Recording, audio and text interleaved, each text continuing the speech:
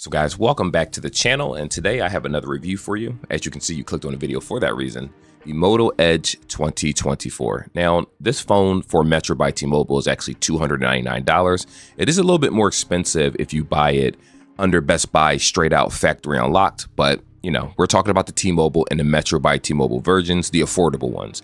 So with that being said, there's a lot of things that is good about this phone. There's a lot of things that might be bad to some people, but I feel like, you know what? Let's talk about both of them in this video together to see if it's actually a phone that you want to purchase for yourself or for someone, you know, like a loved one.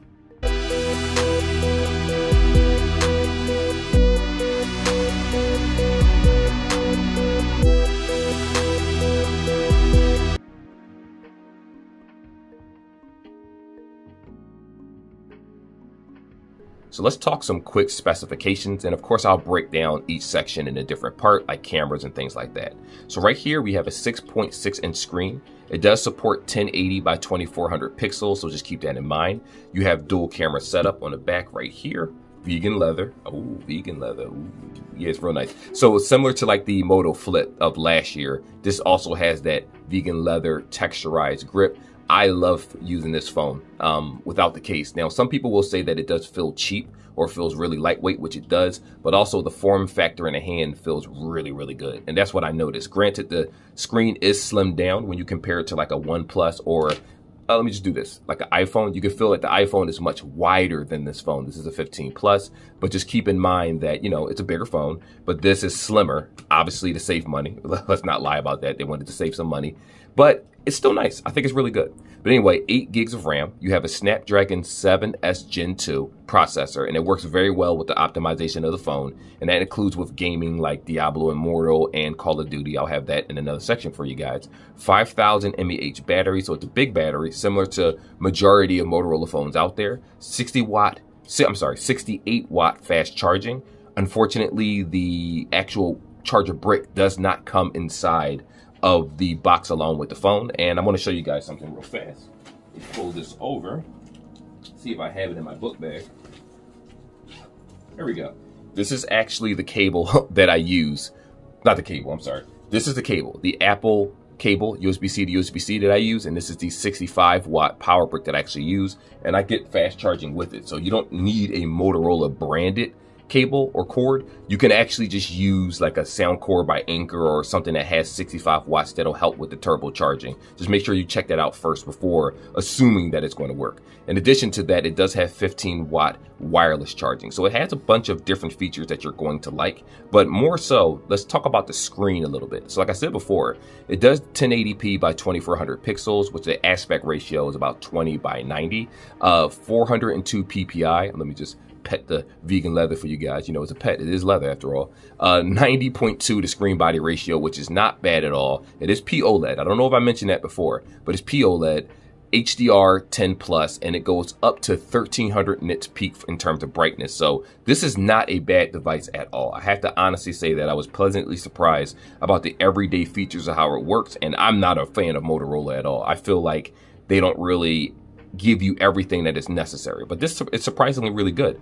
Now, the only downside I can say about the software aspect is that you're only going to get, I think, three years of uh, security updates and two years worth of software updates. But to a person that uses mid-tier phones on a regular basis and high-end, I don't think that's actually bad because most phones under Metro by T-Mobile only get one year of OS updates, and then that's it. And people keep those phones for many, many years. So at least this one gets a couple years. So just keep that in mind. But yes, leather, nice phone. You even have an action button right here where if you click it, uh, you have the, I put made mine the recorder so I can record conversations and stuff because, you know, I do voiceovers and stuff on different videos. But you have the option of actually changing this button right here to whatever you, not whatever you want to be, but it does have multiple options. I'm not sure if I hold it, will it happen? Here we go.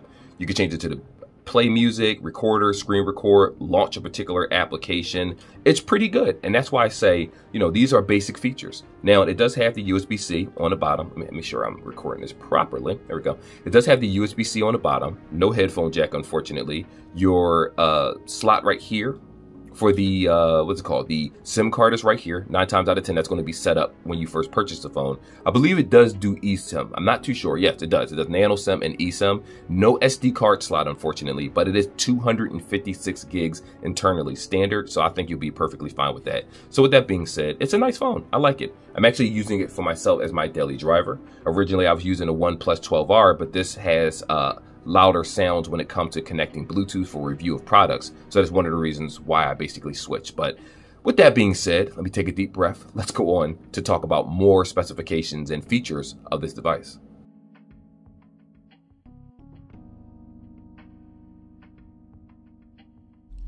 As you know, the processor is a Snapdragon 7S Gen 2 8 gig RAM processor and it works very well. Now, for comparison reasons, this right here is the OnePlus 12R, which has a second gen, eighth gen processor with 16 gigs of RAM. How does it fare with gameplay and other things? Well, that's what these videos are playing for on the top of the screen.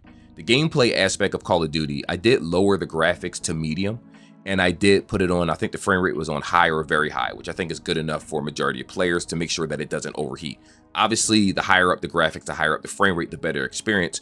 But for me, it is a phone and I use it for everyday tasks. Even when I have a high-end phone, I still lower the frame rate and lower the graphics because I want to make sure that the phone's heat is regulated. It works very well. The only time that it lagged in Call of Duty was when it, the loading screen popped up initially, but outside of that, the game itself, it ran very, very well the way I expected it to. I have the uh, Jawbone controller that I use for all my mobile game needs. And I can honestly say that playing zombies, playing, uh, uh, I normally do team deathmatch and other modes, it works perfectly fine. I hadn't had any lag, I haven't had any delay in movement speeds or anything like that. And if I want to make it move faster, then you up the frame rate and the screen does move quickly with that 144 hertz screen, which I do keep it on auto so that it fluctuates properly without burning out the battery. Now, when it came to Diablo Immortal, uh, I did feel like the graphics was, it, it, required a little bit more processing power. I could be wrong about that, even though it's a smaller game. I did feel like it required more. Um, it ran well. It ran very, very well, as a matter of fact. I had minimal lag in the game itself. There was occasional times where there was like a little skip frame rate where enemy popped up on the screen when it was running toward me and it appeared in front of me. But that even happened with the higher end of phones. That's really all about the network signal also along with the processor. But again, if you're a gamer and you're a person out there that just wants an affordable phone and you want it to work and you still want to be able to do everything that you want to do within reason in terms of price, I think this phone does a very good job of that. And might I say that the phone did not get extremely hot. It got warm, absolutely, but it not did not get hot. Now, on this one of these sides, you see me using Canva, not Canva. Uh, it's called YouCut. Now, what that application does, and they have it for Apple devices too, is that you're able to take multiple videos and combine them, add music, edit, do features, and you can actually do everything from your phone. So for the people out there that may use Clipchamp or other things on their PC, or someone out there that might use iMovie on their iPhone, YouCut to me is the equivalent of all those things. You can pay for it there is a free edition, which is what I'm currently using for this video because I'm not signed in to all of those features on that phone for, you know, video purposes. I was, you get it.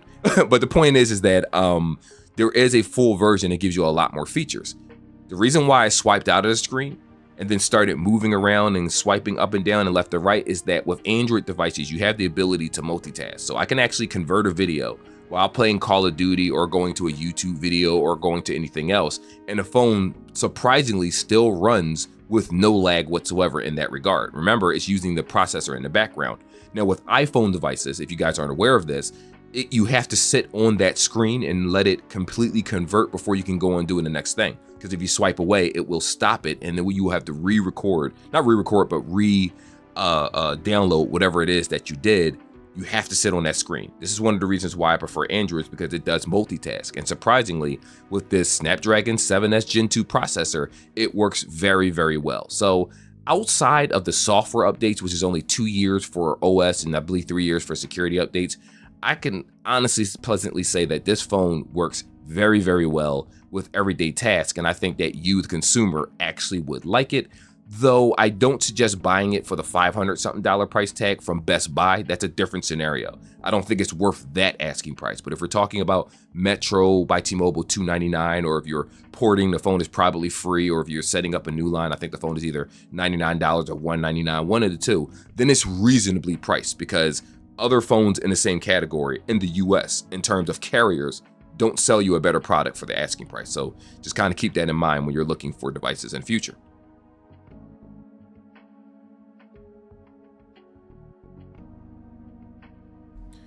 So let's talk a little bit about the cameras of this device before I show you some actual footage of me recording. Right here the main camera is a 50 megapixel wide angle camera. Uh, the secondary camera is 13 megapixels ultra wide. Now, you do have the option for 4K videos that only goes up to 30 frames for 4K, but the 1080p does do 30 to 60 frames. Now, again, some people shoot in 4K because they do edits and videos and things like that. Personally, I do 1080p a lot of the times because uh, it just takes less space on the phone when it comes to converting videos or on the PC, but teach their own. I do want to say that the cameras aren't bad at all in my opinion, which I'm going to show you some footage of the actual videos and some still shots I took while outside. In addition to that, the selfie camera is actually 32 megapixels wide camera. It does have HDR, of course, and unfortunately, it only does 30 frames in 1080p is the highest that it goes.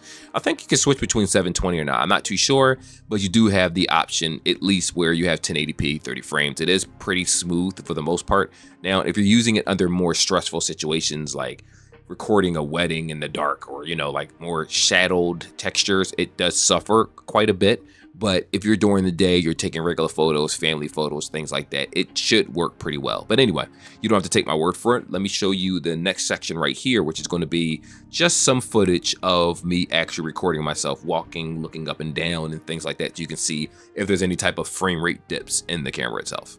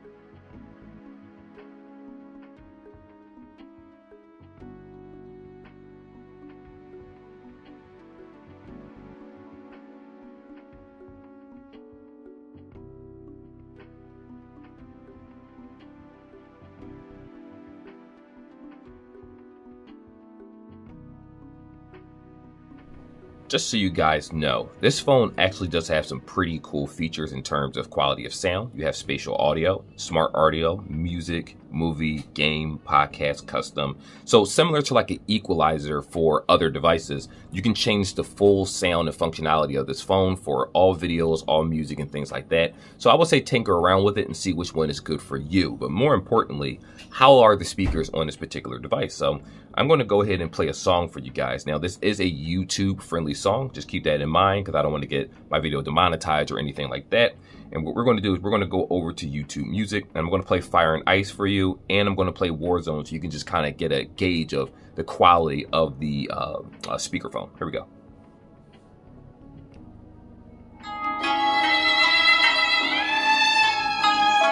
Look that up for you so you guys can hear that.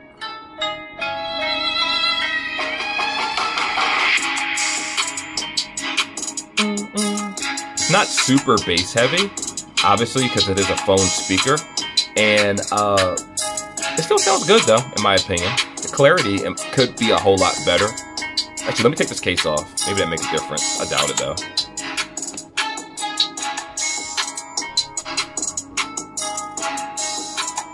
So the sound is very, very loud, though it's not very pronounced. Now, I know there are some people out there that have iPhones or Samsung devices, and the quality of the speakerphone itself sounds a whole lot better than this one.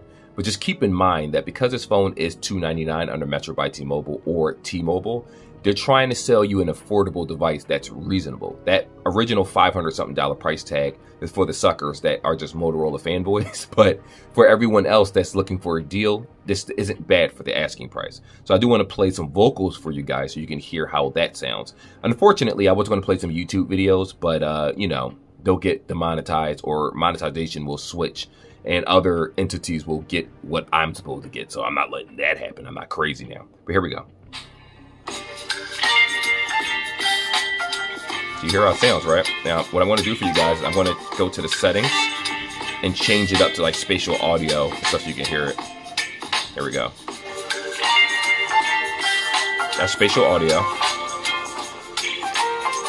Wait for the voices to pop up.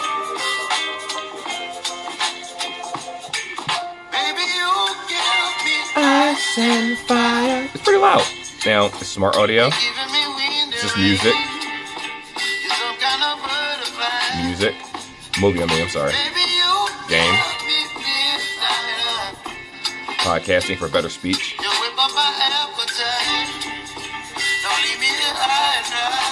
I'm just going to leave it on smart audio.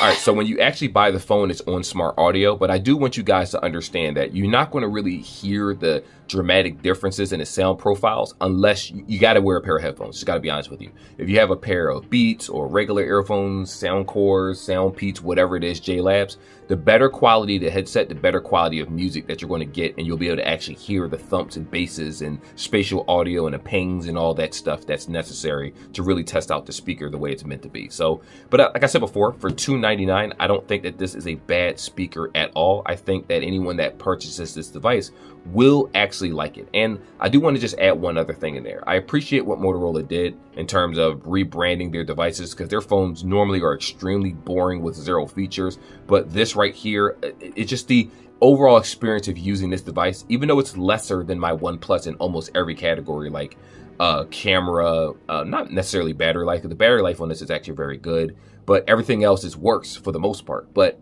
again, as a consumer, you don't care. That some consumers, the average consumer, just wants something that will work.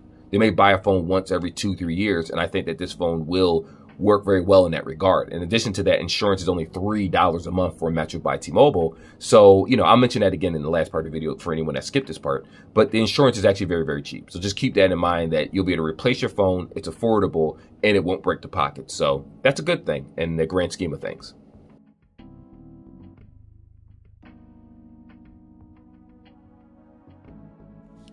So the question is, if this device actually worth the asking price? Like I said before, if you're buying this under Metro by T-Mobile, this guy right here, yes, it is 1000% worth the asking device. It is probably outside of the S23 FE that they sell, the best device that you could currently buy under Metro by T-Mobile outside of Apple. Remember, I'm not comparing anything to Apple because they have their own ecosystem. But for the rest of us, some of us just want a device that's very affordable. And I don't have anything bad to really say about it whatsoever, primarily because of the price tag. Now, if I would have said this, if you would have bought this for $500 from Motorola, oh, we have something to talk about. but outside of that, uh, let's get back to the point at hand. You have 256 gigs internally. You have 8 gigs of RAM. You have a, a, second gen 7S processor, so it's really, really good. It does work well. 1300 nits brightness for the peak and a bunch of other different features that sound really good. You saw the camera aspect of it. It's not the best camera in the world, obviously, but it is high end enough where it you're not going to get choppy photos. It looks good in different settings. It's a good phone overall, right?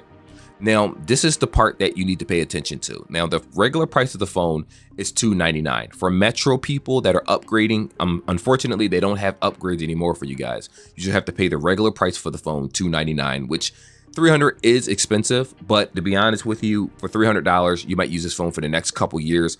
I don't think that that's bad. And make sure you get insurance. Also, if you walk into the store and they tell you insurance is $10, they're lying. It's actually different tiers. You can get this on a $3 tier insurance. I'm not sure what the deductible is, but it's probably about 50 bucks or something to replace the phone. It's one of the reasons why I switched to it because all around, I just want to make sure that I'm protected all the time and I don't have to worry about paying this $299 price tag. Now, if you're porting over from a different carrier, the phone is absolutely for free. You don't owe anything on it. You own your phone when you're done and um, you just pay the first month bill, which is more likely going to be that $75 price tag. You can call customer service and get your bill lowered through customer service. They're not going to do that in store, but either way, it's still a reasonably priced phone. And if you're getting a brand new number and you're not porting or anything like that, the phone is only $49. Now, keep in mind, I believe this phone originally was 199 when you, was it $199? It, might have been 199 or $99. I know last week, no, not last week. I had this phone for a couple weeks now. So I actually got it for $99 and then the first month service and all that stuff for a new number. So I, I, paid a little bit more, but it's still reasonable. So you're looking at 49 bucks, 50 bucks. Uh, activation fees, if they waive it, sometimes they do, sometimes they don't, but I'll add activation fee to be safe. So it's like $25. So that's $75 before taxes. Then you're looking at 75 for the plan. So it's about 150 And then taxes, fees, insurance, any case and stuff like that. You'll be walking out under 200 bucks for this phone. Even though the phone is $299, you're also getting your first month of service along with that. And I think that's more than reasonable, especially when you look at the landscape of all the other phones that they offer. They're crap compared to this. As a matter of fact, uh, even if you look at the Moto G Stylus 2024, which I do like that phone, I do like it, but it does has its laggy moments. The camera isn't as good as this, the processor isn't as good, the screen resolution isn't as sharp, it, it, doesn't feel as good in the hand. Like this feels like a not a premium phone, but it feels like you're getting a premium experience when you look at the screen and use it and swipe but when you look at the actual body of the phone itself, it does look a little cheap. But that vegan leather, in my opinion, makes up for it. This is just a solid phone all the way around. In addition to that, you have that action button, which you can change it and do whatever you want with it. You know, eat your heart out, Apple. You like making up making features that are already existent into a new thing and charging exuberant prices. But that's the only time I'll come at the iPhone. iPhones are pretty good too, for the most part. Yes, it's worth the asking price. I do like the phone. Um, this is not a paid review. This is the primary phone that I use. I need you guys to understand that when I do reviews, when I use headsets, when I say I use the C30i clips and different stuff, I'm not doing that for review purposes and then going on to the next product. I use these products on a regular basis, and that is why I, I stand by saying that the phone is good. Now, in the future, if there's any issues with the software, the processor or software over time, I'm going to report that and I'm going to let you know what's up. But for right now, this mid is this midnight blue? It says midnight blue, but to be honest with you, it just looks black to me. Who cares? It's a beautiful phone. Anyway, like it's described like always, guys. And I will see y'all in the next video. Make sure I'm in the camera. Peace.